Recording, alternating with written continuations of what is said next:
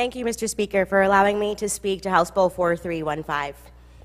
As we know, similar legislation was introduced and moved through this body last term, and last term I supported it.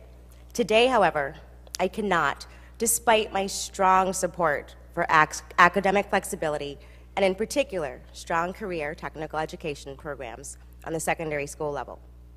My concerns with the bill include allowing students to complete three credits of 21st century skills from a choice of four options. According to the Michigan Department of Education's website outlining overarching expectations, current 21st century learning skills core subjects are 1. English reading or language arts, 2. Mathematics, 3. Science, 4. Foreign languages, and 5. Civics, economics, government, arts, history, or geography. By placing foreign language, including American Sign Language or ASL, whether in a face to face or online learning environment, in the same basket of options that includes visual, performing, and applied arts, coding, and computer science, and a formal career technical program, we open up the unintended consequence of some students taking no foreign language at all or no visual or, and performing art at all. So, quick reminder three is less than four.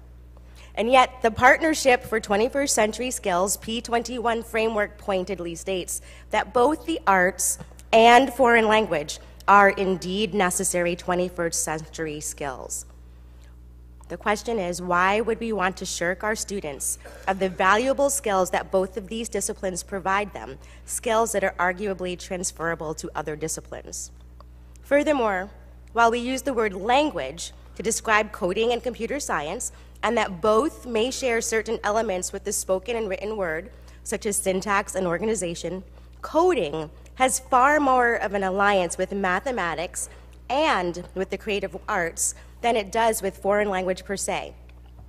I say this confidently as someone who is multilingual, knows how to code, and is a musician that can play, read, and write music. The same skills that go into creating an app, a video game, the CGI that we see in our favorite action movies, and into the type of innovative technology that will operate the vehicles of the not too distant future, and more, are the same skills employed by painters, sculptors, musicians from Bach to Bruno Mars, and the logic employed is in itself mathematical, not linguistic.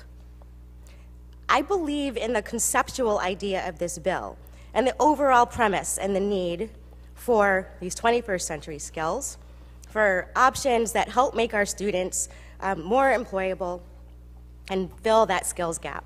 But I also believe that it, is, it still needs more work, especially since we are speaking of academic curricular changes that will affect a generation of Michigan students potentially. And I will be voting no on this bill and urge our colleagues to do the same. Thank you.